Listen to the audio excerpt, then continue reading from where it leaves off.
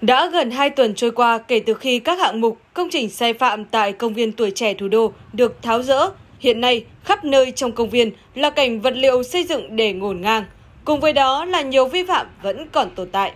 Theo ghi nhận của phóng viên Báo Dân Việt, hiện hạng mục nhà nổi giữa hồ đã được tháo rỡ, chỉ còn phần khung nhà. Một số công trình ven hồ như trung tâm hợp tác cũng đang được tháo rỡ thu gom.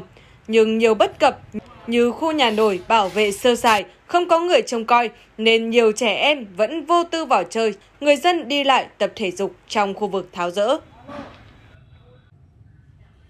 Rỡ này thì tốt rồi, nha, không uh, tốt rồi chứ không vấn gì cả. Nhưng mà điều tức là để bảo vệ cái cái khoảng ờ, uh, thoáng này thì là, là, là lên cái hai cái nhà để trông nó, nó, nó chướng mắt lắm, nha hai là giải phóng cái mặt hồ để nó nó, nó thoáng. Cái hai nữa nó để thế này thì vừa rồi không ăn đây. Buổi sáng người ta trẻ con người lớn người ta vào đây này để trẻ con nó rơi xuống hồ. À, đây là một thứ hai nữa để cái hồ tự nhiên nó để hai cái lồng chim này nó trả ra nó giải giải quyết cái gì cả. Trông nó, nó, nó công viên nó bẩn. À, cái này thì theo bà thì nói chung là mới phá rỡ được độ chục ngày nay thôi, chục ngày hơn chục ngày thôi. Kia thì nó thật sự với cháu như này này.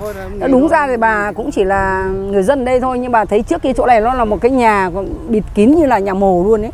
Bây giờ bây giờ người ta phá đi bà thấy quang cảnh nó cũng thoáng mát mà nó có vẻ là đẹp hơn đấy. Nhưng còn hai cái ngôi nhà kia lý do làm sao để lại thì bà cũng không biết. Đương nhiên có nham nhở rồi nhưng mà không biết là sau này người ta định sửa chữa lại hay như thế nào. Đáng chú ý, vấn đề quản lý duy trì an ninh trật tự trong công viên vẫn còn nhiều bất cập. Theo đó, người dân di chuyển bằng xe máy trong công viên rất nhiều. Các bãi trông giữ phương tiện xuất hiện ở mọi nơi. Ngoài ra còn xuất hiện tình trạng chó thả rông, không đeo giỏ mõm chạy loạn. Hàng loạt quán nước tự phát xuất hiện ở cả bên trong và bên ngoài công viên.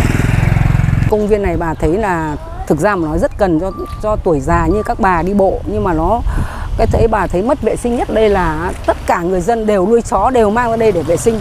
À, xe máy thì xe máy thì bà thấy là cũng lên lên gửi thành một bãi hẳn thôi chứ không để lộn nhộm như này. Tại vì à, nhiều khi cũng ảnh hưởng đến người đi bộ chứ chẳng may va quệt vào nhau thì sao? Vì những người già thường thường là chân chậm mắt mờ người ta chẳng may va quệt người ta cái thì người ta biết kêu ai. Thời gian tới, sau khi các công trình hạng mục vi phạm được tháo rỡ xong, các cấp quản lý cần theo dõi sát sao hơn để đưa các hoạt động trong công viên vào quy củ cần thiết có những biện pháp cứng rắn để bảo đảm an ninh trật tự, an toàn, vệ sinh sạch sẽ trong công viên. Theo dự kiến, có 4 hạng mục gồm sân bóng, sân tennis, nhà nổi giữa hồ và trung tâm hợp tác quốc tế phải hoàn thành việc tháo rỡ trước ngày 30 tháng 6. Các hạng mục khác sẽ được xử lý trong tháng 8. Đến tháng 9, phường Thanh Nhàn phải bàn giao về cho Ủy ban Nhân dân quận Hai Bà Trưng để đầu tư, cải tạo công viên theo quy hoạch nhằm phục vụ người dân và du khách.